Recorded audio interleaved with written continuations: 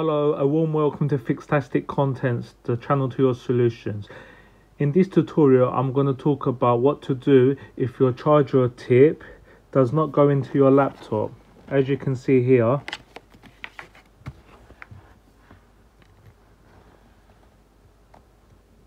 it's not going in.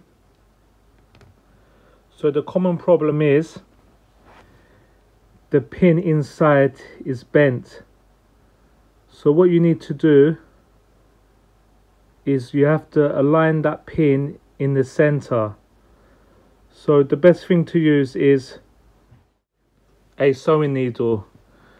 So this needle is perfect to get inside of that tip and align that pin in the middle. So what I'm going to do it now for you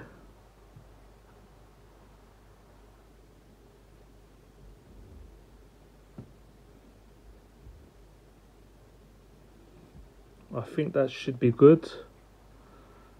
Let me zoom in. As you can see that pin is in the center.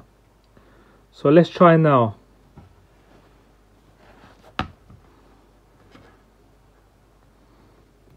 Yeah it slots in the charging port as you can see. So now you know what to do. If your charger tip does not go into your charging port I hope this video helps. Please like and subscribe. Thank you.